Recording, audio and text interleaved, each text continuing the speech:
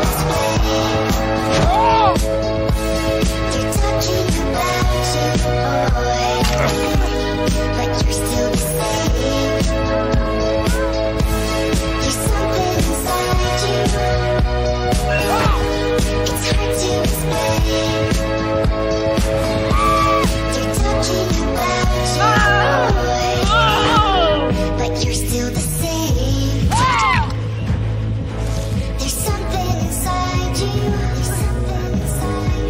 It's hard to